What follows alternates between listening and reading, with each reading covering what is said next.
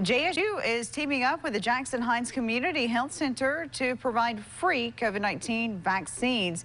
The vaccinations will take place in the Lee E. Williams Athletics and Assembly Center on April 22nd for the general public and the campus community.